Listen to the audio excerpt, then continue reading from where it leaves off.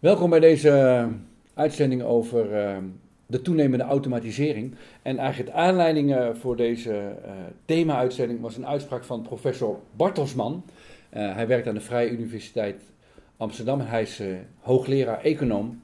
Of hoogleraar weet ik niet, in ieder geval professor. Um, ehm, 15 januari stond in het Financieel Dagblad um, een, een, artikel over dat de, de werkgelegenheid de komende jaren af zou nemen. Hij zei daarover, over 30 jaar, over 30 jaar is de helft van de bestaande, bestaande over, banen overbodig. Hè? De helft van de bestaande banen. Um, we zijn even verder gaan onderzoeken naar aanleiding van deze uitspraak. En op internet, de laatste tijd, is er heel veel gedoe, ook in kranten en uh, tijdschriften, over dat we, wel eens, dat we wel eens met z'n allen een hele andere tijd tegemoet zouden kunnen gaan zien. Uh, waarin niet alleen maar heel veel bestaand werk verdwijnt en heel veel beroepen verdwijnen, maar waarin wel eens de werkgelegenheid structureel een stuk lager zou kunnen worden. Nou, daar gaan we het over hebben. Biedt dat alleen maar problemen en moeilijkheden of ook kansen? Uh, of ben je dan eigenlijk veel te optimistisch bezig als je jezelf die laatste vraag stelt? Is het gewoon echt een heel groot serieus probleem? Dat is de onderzoeksvraag van dit uh, programma. We halen er even wat statistieken bij. Twee uh, wetenschappers uit Oxford, een Michael Osborne en Carl Vrij, hebben serieus onderzoek gedaan naar beroepen waarvan zij een voorspelling hebben gedaan hoe groot is de kans dat het beroep er nog is en hoe groot is de kans dat het beroep verdwijnt. Misschien ken je de statistiekjes, we zullen er even naar eh, kijken met z'n allen. Nou, dit zijn de beroepen die zeer waarschijnlijk zullen gaan verdwijnen. Maar je kan gewoon eh, met de statistieken meelezen. Dus telemarketeers, die kunnen er wel naar fluiten. De kans dat hun beroep verdwijnt is 0,99% Dat geldt ook voor eh, horlogemakers. Ik weet niet of er nu horlogemakers meekijken. Ik zou zeggen, ga je omscholen. De kans dat je over een tijdje nog werk hebt is vrij klein. Scheidsrechters, uh, blijkbaar zijn zij van mening dat die heel goed de apparatuur vervangen kunnen worden. Een waarschijnlijkheid van 0,98% dat het beroep zal verdwijnen. Nou, jullie kunnen zelf verder lezen, ik zal ze allemaal niet, uh, niet uh, doornemen. Interessant ook het beroep mannequin. ik heb me dat ook afgevraagd.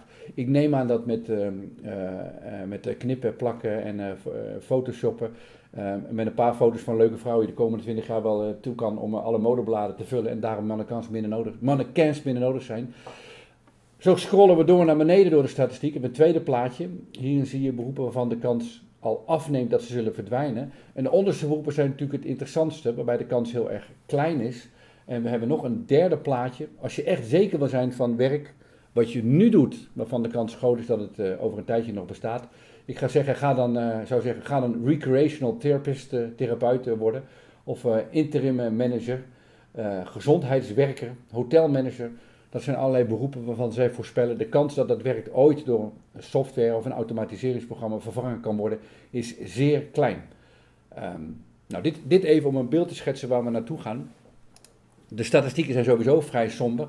Een ander getal wat ik heb uh, onderzocht voor jullie is dat in dit, op dit moment in Amerika nog maar zo'n 31% van de bevolking een 40-uurige werkweek uh, heeft. Nou, dat is de stand van zaken nu. Dat zijn de voorspellingen die nu gedaan worden. Um, veel van jullie zullen mogelijk denken, en er zijn ook reacties die we hebben binnengekregen op, uh, op internet, van ja, maar de economie trekt toch aan uh, en dan gaat het toch beter worden. Maar de vraag is of dat echt zo is. En de vraag is of het niet zo is dat als de economie aantrekt, dat er juist meer banen zullen gaan verdwijnen. Daar, zal ik het straks over hebben. Maar goed, dit even om, uh, als een algemeen beeld. En onze onderzoeksvraag is dus, waar gaan we naartoe in een wereld als heel veel werk verdwijnt en ook structureel zal blijven verdwijnen. En we kunnen naar de toekomst gaan kijken, dat gaan we doen. Maar ik wil eerst samen met jullie even eens terugkijken naar het verleden. Want er is natuurlijk al de afgelopen jaren voortdurend van alles veranderd. En ik wil uh, teruggaan met jullie naar de jaren 30. We gaan kijken naar een uh, filmpje wat door uh, Chevrolet in Amerika is gemaakt. En het schetst een beeld van hoe er destijds in de auto-industrie gewerkt werd. En ook hoeveel mensen er destijds uh, werkten. Kijk even naar hoe mensen in, ehm, in Amerika zich bij de Chevrolet-fabrieken verzamelden om s morgens vroeg naar het werk te gaan. On their way to factories in Flint. And Atlanta, from Tarrytown to Oakland, the neighborly workmen hail each other with the salute of fellowship. En uh, bedenk, dit zijn dus geen beelden die in scène gezet zijn. Het is geen film, het is geen, uh, geen drama. Uh, dit is geen uh, massa-ansenering. Dit zijn echt mensen die gewoon naar hun werk gingen. Zo ging dat uh, destijds. En de grap was, die mensen liepen niet alleen maar op die manier naar die fabriek toe om daar met z'n allen te gaan vergaderen. Maar op die manier werd natuurlijk ook gewerkt. zeer arbeidsintensief. Wat gebeurde er bij Chevrolet binnen in die fabriekzallen? Gaan we even naar kijken. Makes way for the rhythmic hum of smooth spinning machinery. Under the guidance of skilled workmen, comfort and speed and safety are built into motor cars for all America. En iedereen weet wel dat er heel veel veranderd is, maar om niet te vergeten wat er dan precies veranderd is. Hoe, hoe zien de autofabrieken tegenwoordig uit? Gaan we even kijken naar de Audi-fabriek in Ingolstadt. Ehm, als het gaat om een aantal mensen, een iets ander beeld. Kijk zelf maar.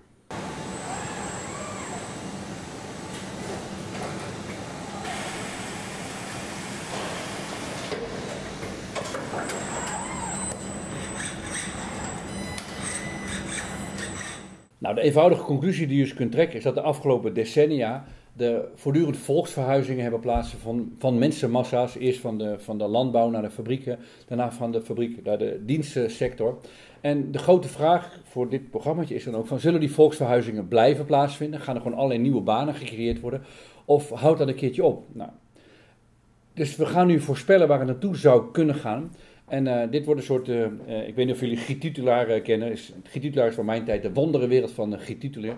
We gaan nu de wonderenwereld van Titulaar in. We gaan jullie twee dingen laten zien die misschien een beeld kunnen geven waar we naartoe zouden kunnen. Eén ding, als het gaat om waar het in de toekomst naartoe zou kunnen gaan, is een filmpje van Amazon.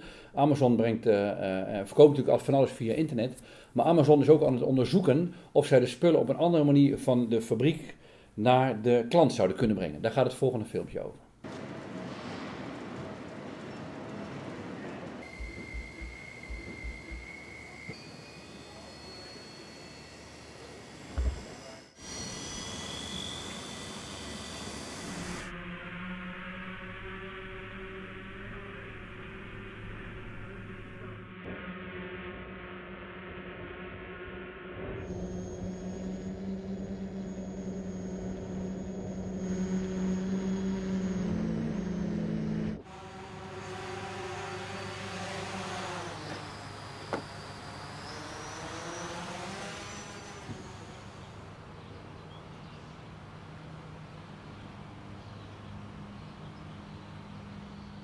Nou, hier is Amazon dus serieus onderzoek mee uh, aan het doen. En het, idee achter, het achterliggende idee is dat als een klant iets bestelt, hij echt binnen een uur het product thuis heeft. Binnen een uur. Dus dat is het serviceniveau waar ze naar gaan uh, streven.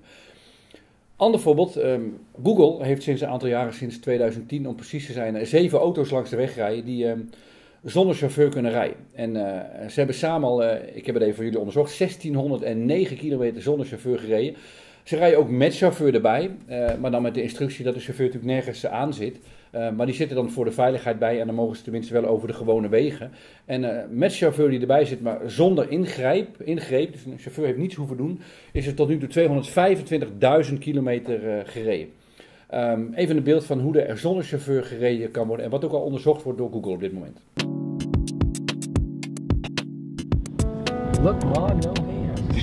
no hands anywhere. No hands, no feet. No hands, no feet, no nothing. I love it.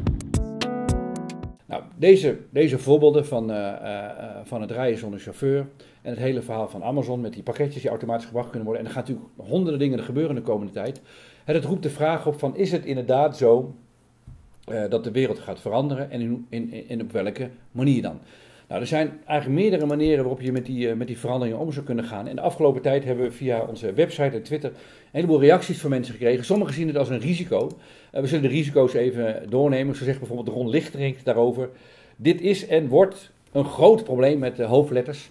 Laat het begrip automatisering, de zaak is automatisch, maar eens diep tot je doordringen. Je bent straks niet meer nodig. Niet met hoofdletters. Over twintig jaar is de planeet Aarde een cyberwereld. Je kan, dat is één strategie. Maar goed, daarvan weten we met z'n allen, ja, je kan cynisch en boos worden, maar ja, wat gebeurt, dat gebeurt. Een tweede strategie is dat je, wat gebeurt, dat gebeurt, dat je dat gaat tegenwerken. En uh, dat is een strategie die je op vele plekken terugvindt. Uh, bijvoorbeeld een Bob Crow, hij is een uh, fameus stakingsleider in Londen. Hij is bij de, goed is, hebben een plaatje van hem. op dit moment heftig in het nieuws. wat is er aan de hand in Londen? Is de burgemeester van Londen, Boris Johnson, bezig om alle bemande kassa's te gaan sluiten en dat door automatische loketten te vervangen. Ja, rationeel een hele logische stap. Maar de consequentie daarvan is dat 950 banen dreigen te verdwijnen. Nou, allerlei gedoe over. Uh, er zou een uh, vloeiende overgang moeten komen en dat valt allemaal bij mee. En, uh, maar die Bob Crow gaat daar fel tegen in en hij vindt dat die banen behouden zouden moeten blijven. Maar dat is natuurlijk dat is vechten tegen de Beakai. Ehm, het is net zoiets als wat ze in Londen ooit hebben gedaan toen de, de TomTom was uitgevonden. Eh, dat Londen taxichauffeur, Londense taxichauffeurs de, eh, het toestand van de TomTom op de Londense taxi hebben tegen weten te houden tot de 1 januari 2008. Eh, omdat ze dat als een bedreiging zagen van de bestaande taxichauffeurs die in Londen uit hun hoofd hadden geleerd. Ja, het is natuurlijk onzin dat je een TomTom gaat tegenhouden. En het is onzin dat je de techniek en ontwikkeling gaat tegenhouden. Dus dit is een strategie van de geschiedenis tegenwerken. Waarvan ik zeg, en waarvan we volgens mij met z'n allen met ons logische verstand kunnen zeggen: ja, dat, uiteindelijk gaat dat niet werken. Nou, dan is er een derde strategie. eh, en dat zijn de optimistische mensen. Ehm, maar ik, ik deel hun mening niet helemaal. Eh, maar goed, zij zeggen, zij gaan eigenlijk de lijn van denken is, eh, joh, er komt wel weer werk genoeg. Zo zegt bijvoorbeeld Harald eh, Horsman, die zegt, er komen minstens zoveel nieuwe banen voor terug, die vaak ook nog eens veel interessanter zullen zijn. Zijn dat zijn eigenlijk de twee polen waarop de discussie zich afspeelt, zou je kunnen zeggen. Maar stel nou eens ehm, dat het zo is dat in de toekomst niet alleen maar heel veel werk verdwijnt, eh, heel, heel veel eh, soorten werk, heel veel beroepen, maar dat ook structureel en minder gewerkt hoeft te worden. En dat is een raar idee, want hoe moeten we dan ons leven organiseren? En hoe zouden we dan met werk om moeten gaan? En in het nadenken over dit eh, programma ehm, ben ik tot de conclusie gekomen dat wij een aantal ideeën hebben over werk. En als we die ideeën niet grondig herzien, dan zullen we onszelf voortdurend blijven vastdenken op dit onderwerp. En voor degenen die het begrip vastdenken niet kennen, en vastdenken is een manier van denken waarmee je van een probleem een ramp maakt. Het probleem eigenlijk alleen maar groter maakt. We hebben naar mijn idee een aantal belemmerende overtuigingen. Die wil ik met jullie één voor één eh, doornemen. En ik zou er graag vraagtekens bij willen zetten. Misschien moeten we ze allemaal overboord gooien. Dit is de eerste overtuiging. En die luidt, eh, je moet werken om aan je geld te komen. De tweede gedachte is, is wie niet werkt is lui. Van Einstein wordt beweerd dat hij eh, bijna de helft van de dag sliep, toch? Hij zelf zei dat dat een ontzettend belangrijke bijdrage was voor zijn, creativiteit. Hoe erg is lui? Bill Gates zei over lui. I choose a lazy person to do a hard job because a lazy person will find an easy way to do it. Dan een derde, die we volgens mij met z'n allen ehm, ondersteunen, is de gedachte dat wie niet werkt, dat hij niet bij de maatschappij zou horen. Hè? Dus werken zou een manier zijn om je nuttig, nodig en zinvol eh, te voelen. En de laatste gedachte is, werk geeft je een identiteit. Je, je bent zeg maar je beroep. Dus stel nou eens, in die, in die gedachte, dat is de, de, de zeg maar, waar ik in het uitzendingje naartoe zou willen werken. Stel nou eens dat je al die beperkingen los mocht laten. Dus dat je niet hoeft te werken om aan geld te komen. Dat je gewoon lui mag zijn. Dat het niet nodig is om bij de maatschappij te horen dat je werkt. Dat je gewoon ook als je niet werkt bij de maatschappij hoort. Dat je als je niet werkt ook gewoon een identiteit zou kunnen hebben. Tot welke mogelijkheden zou dat dan kunnen leiden? En dat is eigenlijk de onderzoekvraag die ik met jullie in het slot van dit dingetje, programmaatje wil onderzoeken. Sommige mensen op individueel, niveau hebben het verlies aan werk al beter om te denken. Zo zegt bijvoorbeeld Judith Meerwijk, eh, die zegt, eh, nou alleen de leuke banen blijven, banen blijven over. Een hele logische gedachte. Het, ja, het vervelendste werk kan snel geautomatiseerd worden, dus die gedachte klopt. En Bart-Jan Vaas zegt erover, we gaan gewoon minder werken, het nog leuker en zinvoller maken. Nou, dat is een gedachte die natuurlijk in dezelfde lijn van eh, denken ligt. En Ronneke, een Ronneke waarvan ik de achternaam niet weet. Maar Ronneke zegt dat voor mij mag alles automatisch gaan en dan blijft er tijd, tenminste tijd over om leuke dingen te doen. Tot slot, hoe, hoe de wereld er over 40, 50 jaar uit zal zien, ehm, dat blijft natuurlijk een beetje koffiedik kijken en gokken. Eén ding is, één ding is wel zeker, uh, apparaten, machines, software, computers zullen meer en meer automatische herhaalbare arbeid van ons overnemen. En dat betekent dat we hoe dan ook minder tijd zullen hoeven te besteden aan saai, geestdodend en vervelend werk. En ik wil dan ook afsluiten met een gedachte. Wat, hoe zou het nou zijn als je niet leeft om te werken? Dat je niet leeft om te werken. Maar ook dat je niet werkt om te leven.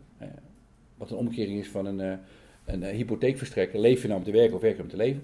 Uh, maar hoe zou het nou zijn als je gewoon leeft om te leven?